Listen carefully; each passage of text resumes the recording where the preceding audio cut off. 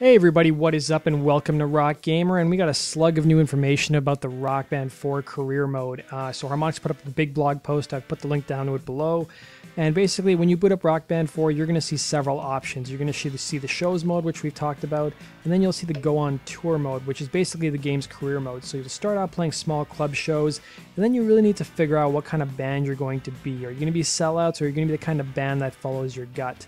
You'll also encounter unusual characters and circumstances that are actually drawn from real life experiences of the touring musicians who actually work at Harmonix. They actually said they had to tone down some of these experiences just so it would fit in like, you know, a game that's rated T for teen. Also said that there's no such thing as wrong choices or any kind of nasty crowds or cheap shots in the career mode. They really want to make sure that people feel good when they're playing Rock Band. They don't have a negative experience. Also, each choice you make actually impacts the story and what kind of shows you'll play. So, if you're playing for money, you're going to be playing a more restricted set list. You'll have to play the songs that are already predetermined. But if you're maybe you know going with your gut, maybe you're going to get to choose what kind of songs you play on your set list.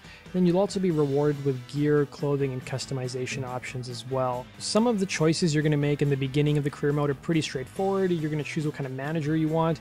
You're going to want a manager who promises boatloads of cash or the freedom of the open road. And then later on in the game, you're going to have to make some difficult choices. Are you going to sacrifice your integrity or are you going to stick with your gut? So if you sacrifice your integrity, you may have to shave your long hair, you may have to sleep on the floor, you may have to do internet promotion and digital distribution of your band's albums. You'll see a variety of clothing styles, gear, and other perks, and you'll still see all the outlandish, crazy, and avant garde pieces that you're used to seeing in past Rock Band games.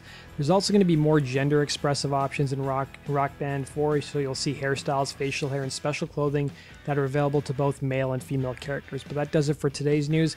Thanks for watching, guys. If you guys want to stay up to date in the latest Rock Band 4 Guitar Hero Live and Amplitude news, be sure to click the subscribe button. Take care.